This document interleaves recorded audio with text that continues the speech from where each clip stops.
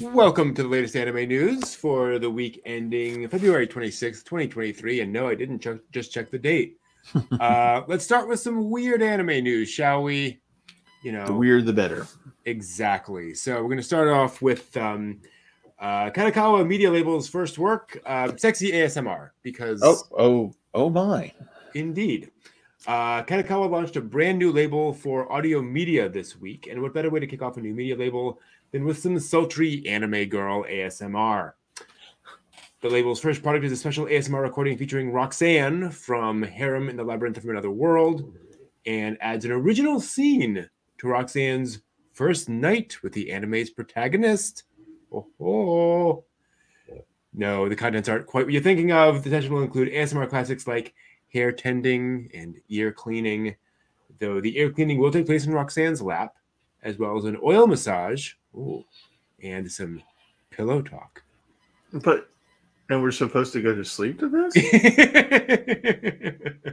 I don't know. I, Apparently. you know, I mean, Um, I'm I I find myself falling asleep on the couch when I have like the Arctic wind thing going, and I'm just like, within ten seconds, like this, I'm just gonna be like, why?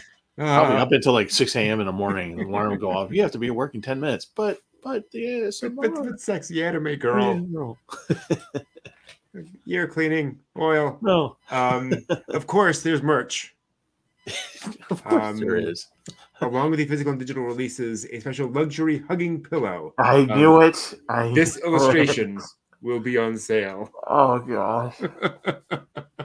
So you can literally be in her lap. Well, Oh, Not God. quite, I'll be I'll be like that guy at Gen Con. I'm, I'm getting it for my daughter. now the question is like, is it just a pillow or does it have like raised areas? Oh, you think it would have to with this kind of a character? Just asking.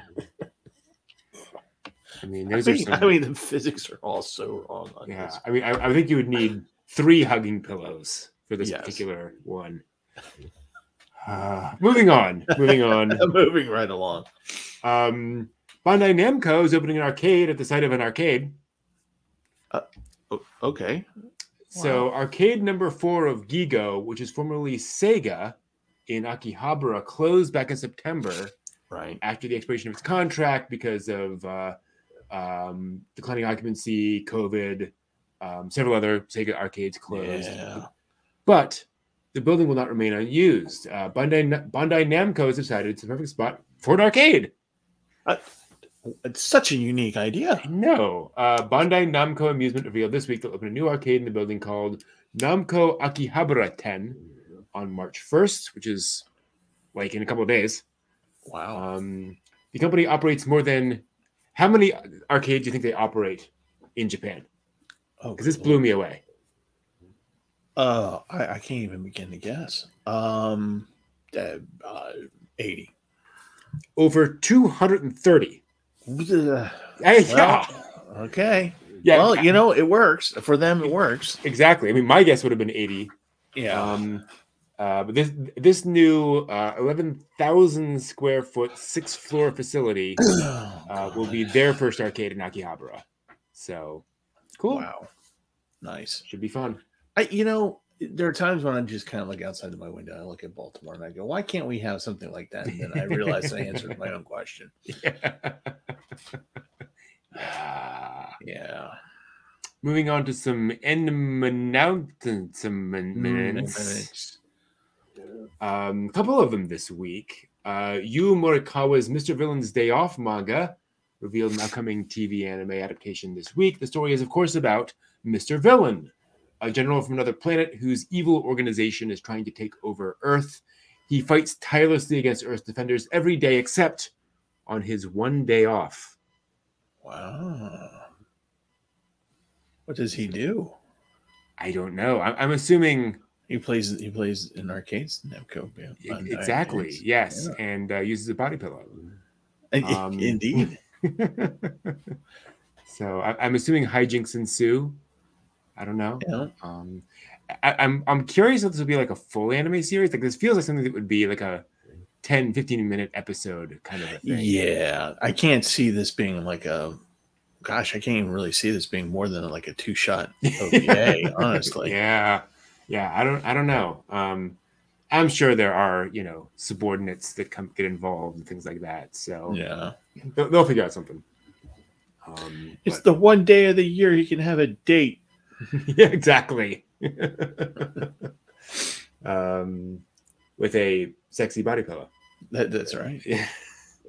Um, has announced an upcoming TV anime for Funa's I Shall Survive Using Potions light novel Oh. series sometime this year premiere. Uh, Fantasy Isekai sees main character Kaoru accidentally stuck in a different world by the powers that be.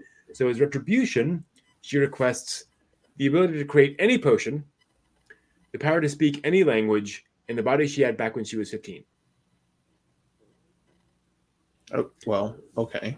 Yeah. So, I mean, here's the I mean, I like that in my body when I was Well, 15. th- back, that's the thing. know. Like, like, I, I, you know, of all the times in my life, I gotta say, 15 was not my ideal body. No, that's God. true. I, I, I, 20. We'll go Exactly. 20. Yeah. we'll Yeah. go 20. I I was actually- Once upon a time when I was playing sports, believe it or Mm. not. the- Mhm. Yeah, not quite sure what was going on. Maybe there's the whole, you know, adolescence is the great flowering of youth or something. But uh, Uh, you know, the more that you say something like that, I'm like going, I remember now what was 15 was like. And I'm like, you know what? Let's not revisit that. exactly. So very odd, but it looks like a, a fiery protagonist. Yes. So looking forward to it. It looks like it's She's fun. got tude. She's got He's some got all the tude. Yeah. Speaking of Tude, uh, One Punch Man illustrator Yusuke Murata has teased an anime project. Oh, God. Uh, yeah, Oh, okay. Uh-huh. Okay. So we got the the the monkey god thing. hmm We got a we got a monk, a very stylish monk, I should true. add. Yes. Um, a kappa, hmm um, who looks like I, I have no idea what to, where to go with that, but and then wow, body pillow. Um, a, Body a pillow female character, I think. I think yeah, So you yeah, think yeah. I, I'm, I'm guessing that's a female character. Not I- sure. Not you know, I Mhm. need to see more I, than I've, that. I've been I've been looking very closely for a long Yes. time at this illustration to tell, but uh, Uh, you know, yes, perhaps. maybe. Uh, Good Yeah, lord. As, as we were saying beforehand, uh, this is Journey to the West, and uh, Oolong has had an upgrade. Um, Yeah. So uh, yeah, when Yusuke Murata wasn't busy drawing One Punch Man, he's busy setting up his own anime studio. And this week he shared teaser drawings and character sheets for their first project titled Zayuki. The original work is based on the classic Journey to the West story and follows a Kappa boy thrust into adventure after a treasure hunter comes along. I mean, she's got tan lines. She she does, yes. Well, she's And, we're gonna have that animated. Uh-huh. Oh, Now- okay. to be clear, um, you know, he set up his own um, anime studio. I do not have any indications here. I, I'm not going to show you the character designs for her because um, you get me kicked off of YouTube. Um, uh, no idea if it's going to be released in full, how long it's going to be, all that kind of stuff, what level of quality. Um, you know, is this going to be an OVA? Is it going to be you know 15 minutes long, or like no, he's he's managed to do something longer. I don't know. I'm hoping, frankly, it's short. Um, Yeah. Because I think the smart thing to do is say, I'm going to do a, you know, I'm going to kind of blow everyone away with something nice and short and sweet, and move on.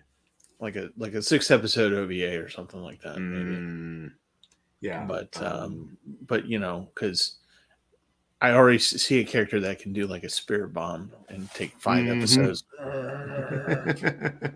No, actually, he doesn't that. do that. No, he's he's very. I mean, you if, you're not familiar with One Punch Man, I mean that he's it's Mhm. very actiony. It's very yeah. shonen. So this this will Mm. be this will this will not be intellectual on the on the on the level of uh, Ghost in the Shell, shall we say?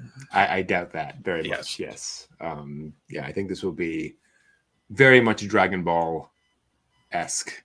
Yes. Um, definitely feels that way. But again, please no spirit balls. Yeah. Um, Murata-san. Um, moving on to some more normal everyday anime news. Uh, GKIDS has acquired uh, the 10 Years with Hayao Miyazaki documentary. Um, this is a Nice. 2019 documentary series, four parts, giving an exclusive behind the scenes look into Miyazaki during the creation of Ponyo. Oh wow. Um, the documentary filmmaker Kaku Arakawa also directed the Neverending Man TV documentary uh, and was allowed to shadow Miyazaki in film some of his process in conceiving and creating the movie. So, to be clear, this is not Kingdom of Dreams and Madness, um, which was a, I think, a female film director. Um, Right, So, yeah, I'm. I don't know kind of the tone this is going to take, how in depth it's going to get. He's a madman. Don't let him near chainsaw and children. bad, bad. No. yeah, I'm. I mean, a four-part documentary. That sounds pretty extensive. Yeah. I don't know. Um, And do you this think? is Miyazaki brushing his teeth. Yeah, Uh, exactly. Like, do you think we'll learn anything new? I wonder. At this point, I don't think so. Yeah. I don't know. Um, I mean, granted, Ponyo is one of Miyazaki's most kind of obtuse films in terms of like having lots of weird little references in there that we know he threw in just for for the lulls. Um, they don't really connect unless you know, oh, there's that one date that means that one thing. So maybe we'll get some Ponyo details. I don't know. Hmm. Um, also this week, news we want to cover. Um, the official Twitter for the Odd Taxi series announced this week a new project titled Route or Route of Odd Taxi. Uh, launched a manga from the creators of the original manga, starring these two new characters who appear to be human, which is weird, given Odd Taxi. Um, we were saying before, need to finish this. Yes. Uh, let's see here. Um, um, Wow. Oh, actually, before we get to that one, um, Bandai and Akita Shoten are branching into webtoons, uh, the vertical scrolling comics that you may have seen Oh, okay. Yeah, yeah. online. They seem to be the new frontier these days. Uh, both Bandai and Akita Shoten want a piece of the action. New joint business venture called uh, Bandana Comic manga service, uh, set to launch towards the end of this year, so a ways away. Trying to get uh, create a new IP that'll fuse manga and animation, and keep creators in an active role. Good luck. Um, and then Akita Shoten announced a uh, service this week called J-Tune, which will launch um, in two days. Oh, So hope that works. Um, Uma is getting another cute spin-off manga. Um, Uma Pretty Derby, Derby Uma Musumeshi, with meshi being the casual word for meal. So looks like um, Pretty Derby cooking. And I'm assuming for every eating- lap they run around, they have to come up with a savory yet sweet meal. Is that carrot cake? That, yeah, it is with, with a carrot just chunk. exactly. It's weird. It looks like chocolate waffles. It does. At first, I thought Okay. it was like a sweet, but then you know, there's I- just the, I the, the, the dagger of carrot sticking out of it. I'm so confused. Um, or is it like meatloaf? I don't know. I just don't know. The carrot, no matter what it is, the carrot's gonna throw it off. Yeah, exactly. Yes, I'm mm, not looking forward to that one. Um, particular meal there, but who knows? Maybe it's delicious. Um, the announcement says, "Look forward to the girl's delicious dish." Mm. Okay. Um, want to feel old? Uh, No, Well, but, but you're Sa- gonna make me feel. Yeah, feel- sorry. Zoid's Twitter Uh-huh. posted a 40th anniversary teaser Oh, God. with a possible return to the original show. Um, featured a video with footage of the main character from Zoid's Chaotic Century from 1999, with text reading, "He's coming back at last. The promise has been made." Oh. oh. WUDC channel 20 at Now, 3:30 p.m. I to be think. clear, the Zoids franchise is 40 years old. The anime is again only like 20, 28, Yeah. years old. Um, only 25. Come on. it's not that far back, but yeah, it's been a while. Um, yeah, I've, I, I, I'm depressed now. But I know there, there's moments when like something like this will come up, and I'll just be like, "No, "That was yesterday." No, no, no, please, no. It was just like on, on YouTube. They they're putting on, and this year these songs are going to be 30 years old. No. God, I hate you people. I, I can't stand the you know um this thing is now older than that thing was in like oh yeah, yeah, yeah, yeah, oh, uh, no. yeah, no. stop it stop it oh Isn't it enough that my body hurts? Come on. Uh, um, well, good news for fans of Makoto Shinkai. Um, while Suzume no Tojimari followed heroine Suzume on her journey across Japan, um, it is now announced a special behind the scenes exhibition that'll make its own journey around the country. Um, special exhibits, production materials, original key animation, storyboards, backgrounds, etc. Uh, going from Tokyo through to Sapporo, Osaka, Kanazawa, and Fukuoka. that is just a beautiful picture.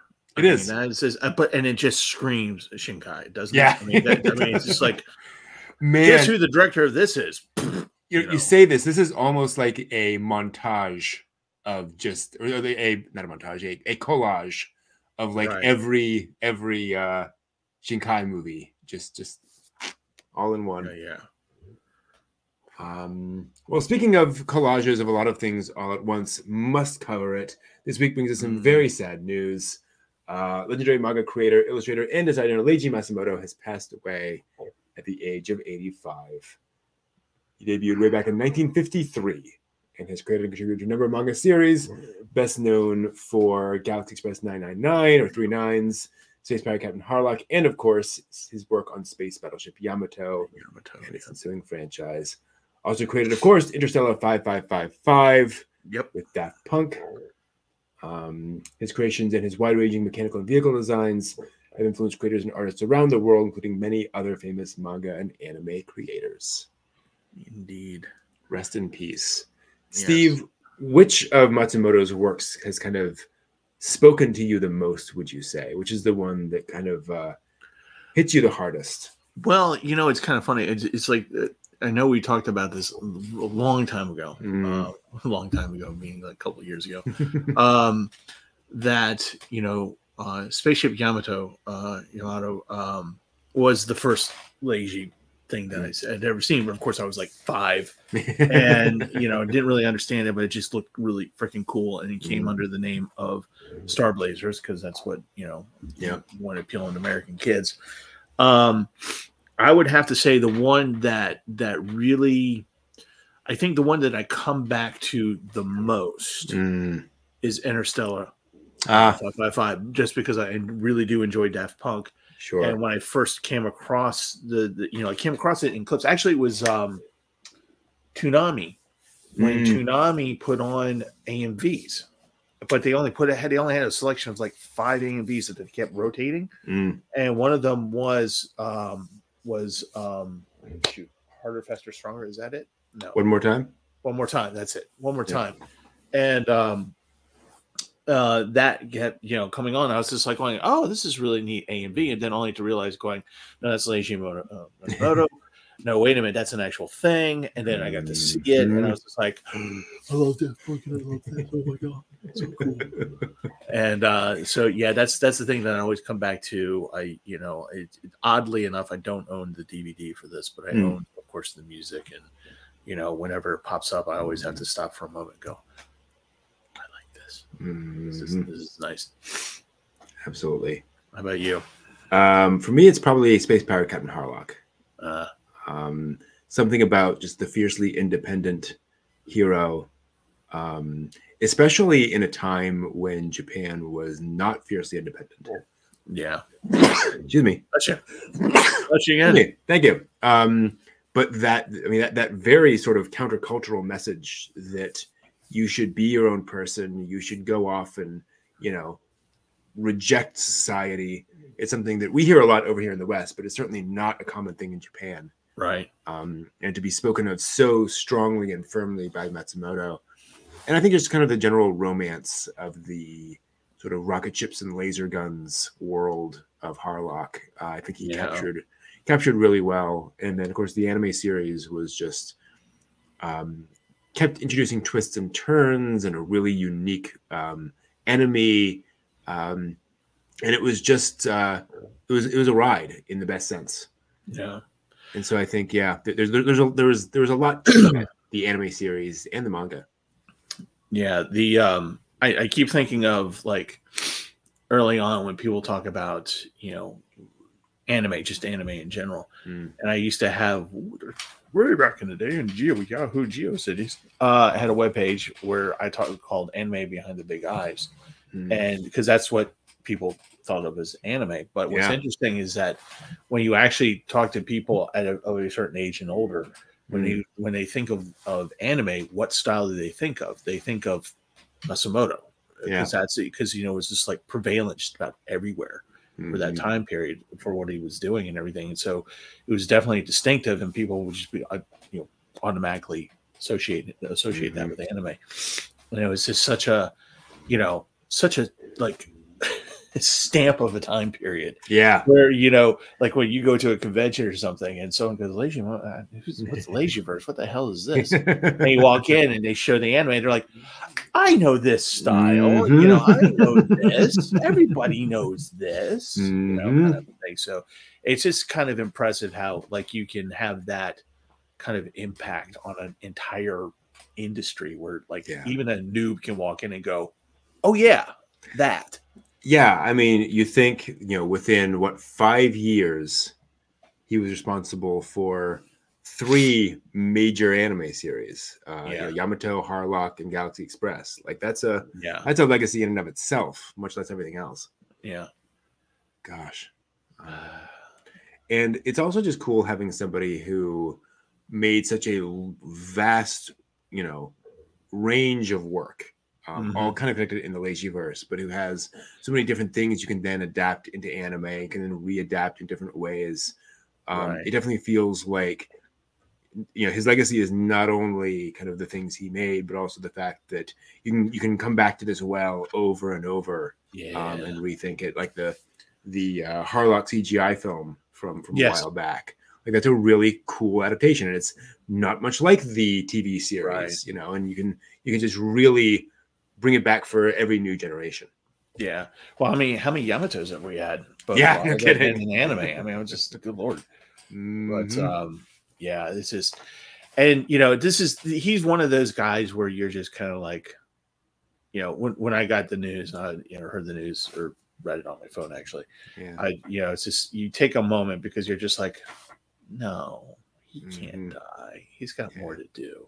Mm-hmm. This is this- he's like Osamu Tezuka. You know, there's just Yeah. you know, there's there's more to be done. I know that he Mhm. probably had probably in his fantastical brain of his probably had probably had on on his deathbed like going, but I've got like 25 more ideas. Just give me a little bit more time. You know, just just let me get this out let, let me just get pen to paper. yeah, no kidding. Um, yeah, very very sad. Um, Just pulling up. Um, members of the anime and manga industries have been paying tribute. Um, there's a, uh, a lovely illustration by Yasuhiro Nightow of Maetel.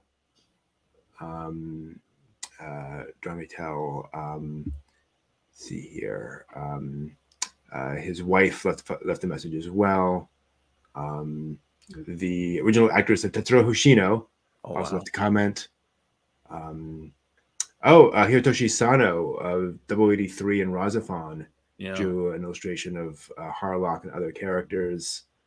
Um, uh, others, Zack Davisson, translator, Discotek Media, um, a bunch of other other folks. Um, oh, it's nice. Uh, uh, Ami Shibata, manga creator of Papuwa, and Uh-huh. uh, um, he uh, he received a letter from uh, Matsumoto uh, Oh. a long letter full of, as he puts it, sternness, kindness, and a lot of heart. And he posts it. Uh, and sorry, she uh, she she posted it uh, online, uh, uh, sort of inspiring folks to to draw manga. Very cool. Nice. Um, there's a, a uh, so there's a little sad. Um, Nozomu Tamaki, creator of Dance the Vampire Bund, wrote I've Mhm. only met Leiji Matsumoto once. I was when I interviewed about him about a Space Battleship Yamato PlayStation game. After a lively discussion about a wide range of topics, he asked me on the way home, What kind of manga are you drawing? At the time, I was barely eking out a living with an adult magazine. Sheepishly, I told him the gist of it. In response, he said, That's fine, isn't it? Draw that kind of thing while you can. Before long, you'll be able to draw it even when you want to. Um, um, I asked, When you say not being able to draw it, are you talking about age? To which he grinned in response and said, You'll get teased by children in school. Um, he was probably recalling his own experiences drawing his uh, his own early ecchi manga. Um, so there was a moment that stood out to me even more than the interview. Just you know, yeah. uh, he, he was a uh, big man. yes. Yeah, very sad. Well, that's all the news for this week. Thank you all for watching. See you next week. Have a good one, all. Que tu, papa.